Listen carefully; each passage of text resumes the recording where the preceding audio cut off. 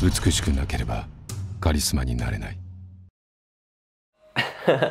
やなんかあの施術終わった後のあの残った毛とか持ちた時とかに「お腹綺麗だね」って言われました。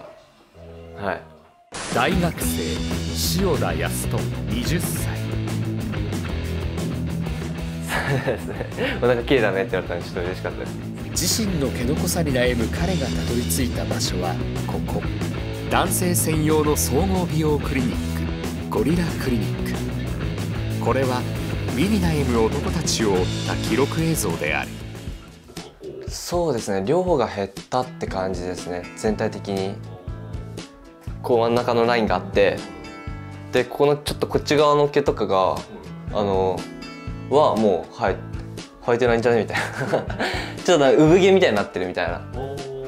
施術してからちょっと経つまではあの毛穴に残ってるのかななんか毛が普通にあるんですけどなんか生活していくうちに勝手になんか取れててあ1ヶ月くらい経ってからですかね。そんくらいまでは結構ツルツルでした。多分なんか 生活してるうちに勝手に 落ちてったと思います。はい。で3回目はもっともうちょい出力上がる感じですかそうですねからちょっとんマスク麻酔してもらおうかなと思います。太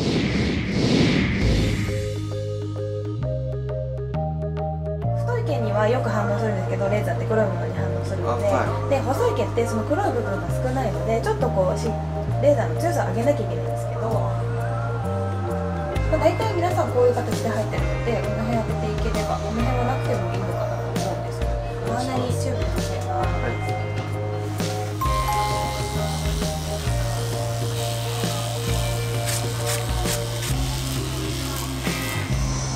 たい。ですねお腹もい。きますよちょっと冷たい。シックスみたい。です何どうですか絶対ですちょっと痛い。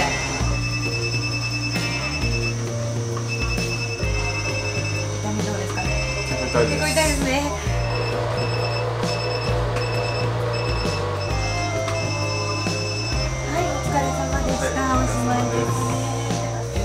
がとうございました。施術を終え現在の心境を伺うことに。麻酔は効いてたと思うんですけどちょっと痛かったですねやっぱり。はい。あーでもちょっとなんか頭がぼーっとするんですよ。だからなんか看護師さんとかがその声かけてくれてる時とかもあのちょっと気抜いてたらそのまま無視しちゃいそうなみたいな。なんか頭に集中しすぎちゃってみたいな。そんな感じでした。